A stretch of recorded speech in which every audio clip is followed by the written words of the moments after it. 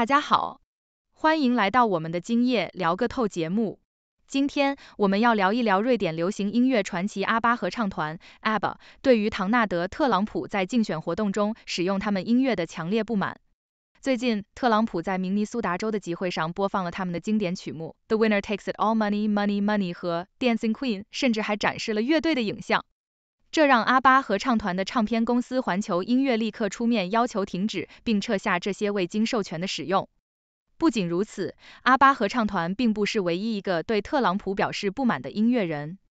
席琳·迪翁、碧昂斯、辛尼德·奥康纳等多位知名艺术家也曾因为特朗普的行为而出面抗议。这一事件引发了对音乐版权使用的广泛讨论，尤其是政治活动中对音乐的使用是否应经过艺术家的同意。今天我们将深入探讨这个话题，看看音乐家如何应对他们的作品被用于不符合他们价值观的场合。请大家继续收看详细内容。瑞典传奇乐队 ABBA 的旋律响彻明尼苏达州的竞选集会，一场原本应是政治秀的活动，却因音乐版权问题掀起波澜。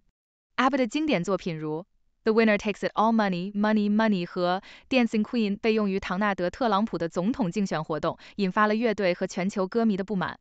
据 Svenska Dagbladet 报道，这些歌曲和视频被投影到大屏幕上，展示 ABBA 鼎盛时期的表演片段。然而，这些画面却令 ABBA 感到被冒犯，因为他们未曾授权特朗普的竞选团队使用这些作品。环球音乐 Universal Music 在给路透社的一份声明中强烈谴责了这种未授权使用，并要求立即停止播放这些歌曲。唱片公司表示，特朗普的竞选活动未获得任何形式的许可，这种行为违反了版权法。ABBA 并不是唯一一个对特朗普使用其音乐表示不满的艺术家。席琳·迪翁的团队上个月也谴责了未经授权使用他的经典歌曲《My Heart Will Go On》的行为，并要求立即停止。艾萨克·海耶斯的家人更是要求支付高达三百万美元的授权费。南华早报指出，这并非孤立事件。ABBA 在明尼苏达州的集会上遭遇了未经授权使用的情况。这个州以其庞大的瑞典裔社区而闻名，ABBA 的音乐显然具有特殊的吸引力。然而，这种情感共鸣却被政治活动所利用，让 ABBA 感到不满。记者报道说，在集会上播放了《The Winner Takes It All》之后，还出现了一段长达 ten 分钟的视频剪辑，展示了 ABBA 演唱《Money Money Money》和《Dancing Queen》的经典画面。这让人不禁思考，音乐不应该被用来炒作政治议题，特别是在没有得到艺术家同意的情况下。卫报进一步报道了这一事件，强调了明尼苏达州圣克劳德的集会上，特朗普竞选团队如何肆无忌惮地使用 ABBA 的音乐和影像，并在冰球场的大屏幕上播放这些内容。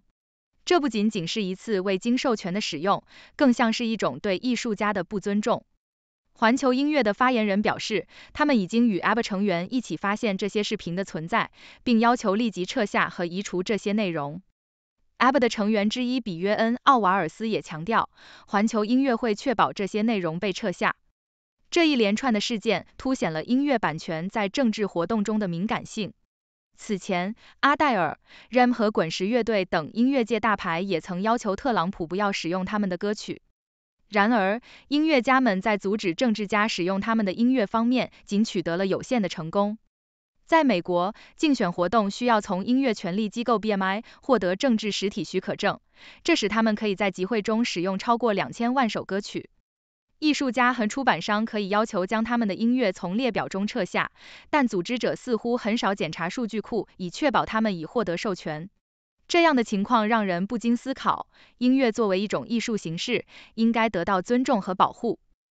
ABBA 的音乐不仅仅是旋律和歌词的组合，更是代表了一个时代的文化和记忆。特朗普竞选团队的这种做法，无疑是在利用这些音乐来达到政治目的。这种行为不仅侵害了艺术家的权利，也对音乐本身造成了损害。回顾这一事件，ABBA 的强烈反应是可以理解的。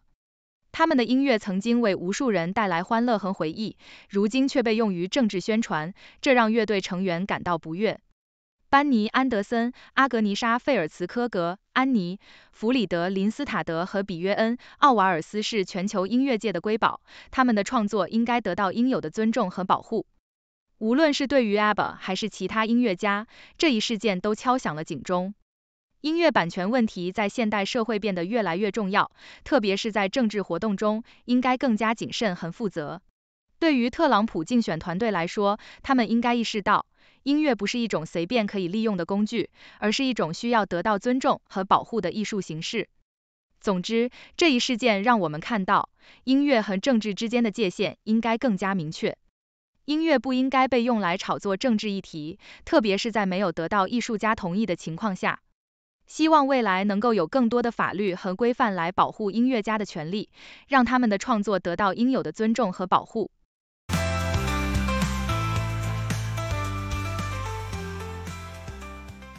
欢迎大家进入六度探索的辩论环节。我们从正反两个角度对本节目进行辩论，请出我们的辩论高手楚天舒、谢琪琪。我是楚天舒。我是谢琪琪。各位观众，首先我们必须理解，ABBA 的音乐是他们的艺术创作，是他们的心血结晶。特朗普在竞选活动中使用这些音乐，却未经过许可。这就好比你辛辛苦苦种了一片果园。别人却直接过来摘果子，还不告诉你一声，这种行为难道不令人愤慨吗？再说，ABBA 的音乐有其特定的文化背景和意图，特朗普的竞选活动使用这些音乐，无疑是在错误的语境中传播这些歌曲。这种行为不仅侵权，还显得极其不尊重艺术家的意图。哈哈，楚天舒，你的道理听起来很合理，但我们的清楚一点，这不是第一次有政治家使用音乐家的作品，从来都是这样。你说的好像特朗普是唯一一个这么做的人。要我说，ABBA 的歌曲在特朗普的集会上播放，这可是免费的宣传。这种曝光度对于一个早已不活跃的乐队来说，难道不是好事吗？再说，音乐是通用语言，为什么要限制它的使用呢？琪琪啊，你这话听着就像是说，被偷钱还得感谢小偷帮你减轻了财务负担。事实上，音乐的版权法是非常明确的，艺术家的作品受到法律保护。根据美国的版权法，使用他人的音乐需要获得授权，否则就是侵权行为。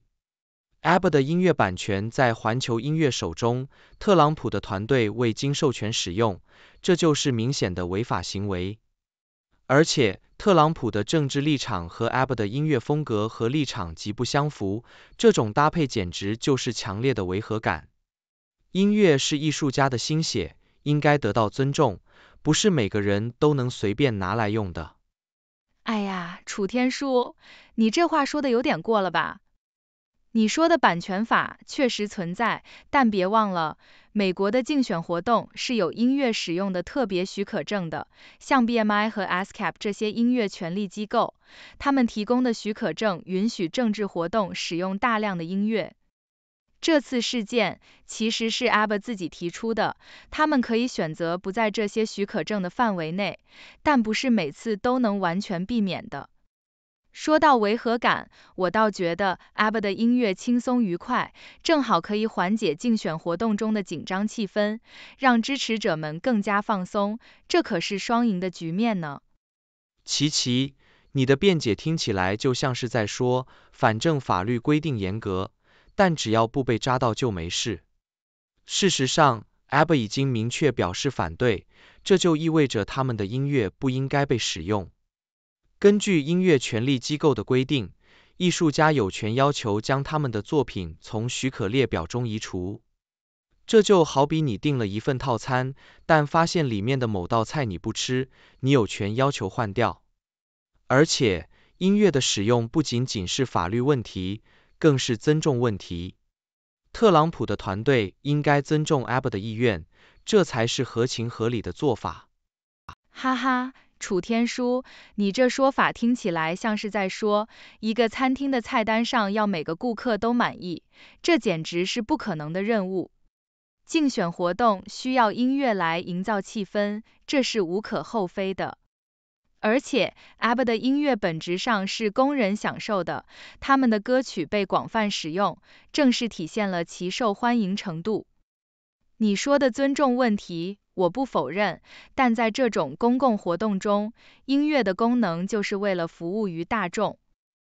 ABBA 的反对更多的是一种姿态，实际上对他们的影响并不大。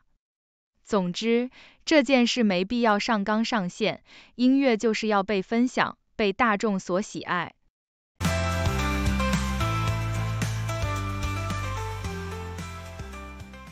川普会重返白宫，贺锦丽成为美国第一位女总统。二零二四年世界第一大竞争，谁胜谁输，天下都会大变。美国导报，来自美国大事现场的信息，华盛顿。华尔街、硅谷，还是美国任何一个州？美国导报，YouTube.com at American Briefing。谢谢大家收看六度探索，这是一个由科学家、经济学家、媒体人、工程技术人员合作建立的新型媒体。网友与六度 AI 参与合作完成各种内容，这些内容不能作为任何决策或法律的意见。这是一个新型的试验性媒体方式，我们希望得到大家的支持，修正错误。网友可以参与讨论，也可以向万能的六博士提出你能想出的任何问题。六度世界网址是六 do world，请介绍给你的亲朋好友。